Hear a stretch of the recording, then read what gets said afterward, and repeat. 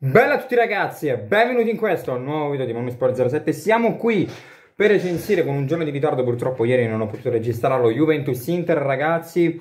Allora, allora, allora Ci sono comunque delle cose da dire, delle cose su cui ho fatto riflettere Perché ragazzi ultimamente era sempre la solita noia. Invece da ieri ho avuto degli spunti di riflessione veramente veramente importanti Per quanto riguarda la partita ragazzi Perché oramai era inutile parlare della situazione in casa Juve Però se parliamo solamente della partita, eh, mi vengono più spunti interessanti da, da, dire, piuttosto di dire le solite cose che ormai dico tutti ragazzi. Infatti, dicevo negli scorsi video, guardate che non... Eh, dicevo negli scorsi video ormai dico sempre le stesse cose. Adesso sì, mi sono venuti degli spunti di riflessione veramente, veramente importanti. C'è sicuramente rammarico per dei punti persi perché questa Juve poteva veramente fare di più.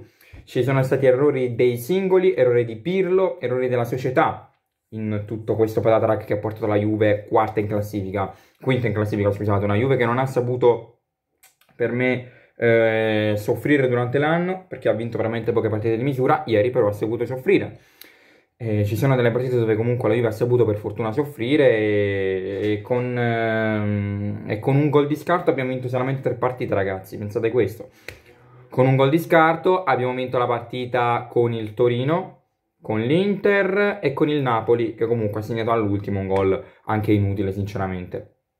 Quindi, insomma, eh, c'è sicuramente rammarico per i punti persi perché i giocatori hanno delle qualità veramente, veramente importanti e dunque, non, eh, e dunque c'è veramente rammarico per un qualcosa del genere. Per quanto è accaduto, perché secondo me i punti persi sicuramente si potevano evitare con la rosa che abbiamo. Forse è stata gestita male i giovani perché si venivano più spesso i giovani a giocare, magari si scopriva anche qualche bel talento, si facevano riposare anche i titolari, perché comunque ad Alexandro c'è stato un momento della stagione dove potevi veramente mettere più spesso Frabotta o comunque non aver venduto Pellegrini, cioè, quindi cioè, secondo me Pellegrini non capisco perché è stato ceduto in prestito quando quest'anno le presenze le avrebbe comunque fatte.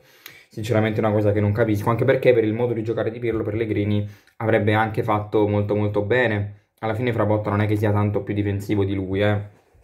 Con tutto il rispetto per Frabotta che ha fatto anche un, un gol e un assist, una bella stagione. Rafia comunque il gol l'ha fatto. Eh, un assist l'ha fatto anche da Graca o di Pardo, non mi ricordo chi è che l'abbia fatto. Quindi insomma qualche bel giovane in campo si è visto, magari poteva secondo me giocare più durante l'anno invece di far rifiatare i titolari perché comunque, eh, giusto per far rifiatare i titolari perché comunque secondo me era un ragionamento valido da fare. Per quanto riguarda gli episodi, ragazzi, vi dico la mia, l'esposizione su Bentancur non gira. Lì Bentancur è ingenuo, perché è già munito, va a fare un contrasto del genere. Non puoi pensare di avere davanti un bestione come Lukaku e quindi dire, vabbè, provo a togliere la palla, tanto male che vado, questo non cade. E abbiamo avuto anche noi Mandzukic, che era quasi impossibile togliere il pallone, eppure lui cade. Chiellini, anche se è alto 1,90 e pesa 100 kg, 100 no però, e cade lo stesso. Quindi, insomma, per me il rigore per noi c'era. Sul gol loro io un mezzo palo di Lukaku lo vedo, perché se tu mi fischi quel rigore a Lautaro Martinez, io penso che sul gol dell'Inter sia assolutamente da annullare, a parte che Chiellini la mette dentro pure col braccio, io penso che quel gol sia assolutamente da annullare, certo Chiellini accentua, ma mai quanto accentua Lautaro Martinez su quel pestone, chiamiamolo pestone proprio per giocargli un tiro a favore, eh, su quel pestone di, uh, di Delict. Quindi insomma ragazzi, in sei partite c'è da dire che con l'Inter abbiamo fatto, tra l'anno scorso e quest'anno con l'Inter di Conte, quattro vittorie, un pareggio e una sconfitta.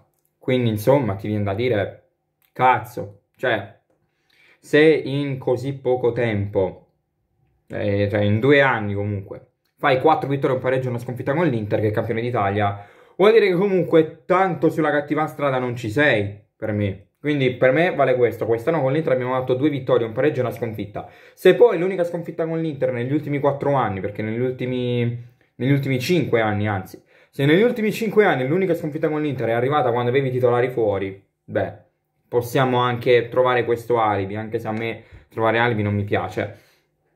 Uh, ci stava il riposo di Dybala e Morata perché alla fine ogni scelta tattica fatta da Pirlo è stata giusta perché la partita l'ha vinta non si è vista in campo una brutta Juve quindi insomma quella scelta di mettere Kuluseschi lì nonostante Kuluseschi non ha fatto una buona partita ci può anche stare secondo me perché Kuluseschi e Chiesa noto che si invertivano si intendevano quindi in qualche modo c'è stata. Eh, in qualche modo la Juve ha giocato, ha giocato veramente veramente bene. Quadrato veramente un signor giocatore ragazzi. Rabiot 4 gol e 4 assist in stagione, ieri ha coperto dove Bentancur non arrivava, quindi ha fatto veramente una bella partita. Pure Rabiot ragazzi. Eh, che io sinceramente venderei prima i primi scarti, che sono Ramsey, Alexandro, Bernardeschi. Questi scarti qui, insomma, ragazzi, Bernardeschi lo stiamo facendo giocare nella speranza che segni, ma in stagione ha fatto 4 assist senza mai segnare e ormai Pirlo ha provato a dargli delle chance in vista dell'europeo, in vista che magari quando lo vendiamo lo vendiamo a più prezzo, ma niente.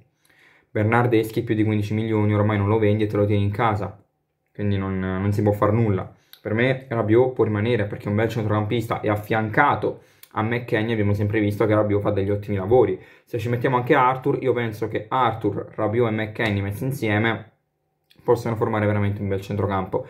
Bentancur ormai penso sia arrivato agli sgoccioli. Bentancur ha delle doti veramente ottime, quella di verticalizzare, ma per il resto è un giocatore troppo irruento, troppo ingenuo, è troppo limitato mentalmente perché a volte può verticalizzare perché lui il piede ce l'ha e non lo fa mai. Quindi insomma ora si spera che il Napoli perda perché in realtà sta vincendo, lo sto registrando quando... nel big match comunque Pirlo 8 vittorie, 8 vittorie 5 sconfitte, 4 pareggi, non ha neanche fatto troppo male. Quindi insomma, vediamo un po', i dati positivi ragazzi ce li abbiamo, vediamo un po' quel che succede, anche se credo ragazzi che la strada sia quasi segnata. Speriamo sempre in bene ragazzi, se, avete, se il video ti è piaciuto ti invito a lasciare mi piace, caso contrario un dislike, commenta se sei d'accordo o disaccordo con me, se non l'hai ancora fatto iscriviti al canale, in descrizione il link per seguirmi su Instagram, da Monisport07 è tutto e noi ci vediamo in un prossimo video, bella ragazzi!